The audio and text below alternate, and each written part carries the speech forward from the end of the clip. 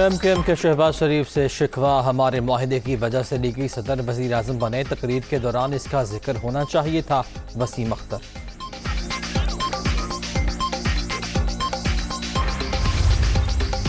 शहबाज शरीफ ने वज़ीर अजम का हल्फ उठा लिया। का मकाम सदर सादिक संजरानी ने हल्फ लिया। आरिफ अलवी, नासाज तबीयत के बायस रुखसत पर हैं।